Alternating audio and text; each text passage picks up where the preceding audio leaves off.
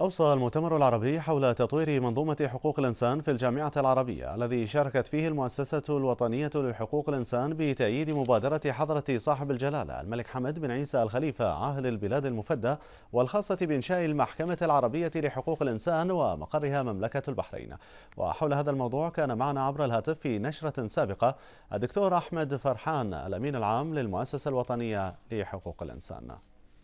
في الحقيقة لاقى مشروع جلالة الملك أثناء المؤتمر مباركة حوالي 120 منظمة ومؤسسة وطنية لحقوق الإنسان بالإضافة إلى حضور عدد كبير من رجال القانون والمهتمين بحقوق الإنسان إضافة إلى ممثلين من المحكمة الأفريقية لحقوق الإنسان والمحكمة الأوروبية لحقوق الإنسان والمحكمة الأمريكية لحقوق من المؤمل أن أن أن ينتهي فريق الخبراء الآخر اللي قد اللي تم تشكيله من قبل جامعة الدول العربية وعرض تصور معين للنظام الأساسي للمحكمة خلال قبل أو خلال المؤتمر الوزاري نهاية هذا هذه السنة.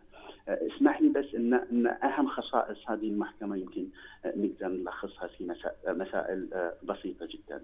نعم. إن يجب أن تكون هذه المحكمة مستقلة قضاة هذه المحكمة من رجال القانون المتخصصين في القانون الدولي وحقوق الإنسان من الدول العربية نعم. إن تكون لهذه المحكمة اختصاصات واضحة في ملاحقه أو إصدار أحكام في شأن انتهاكات حقوق الإنسان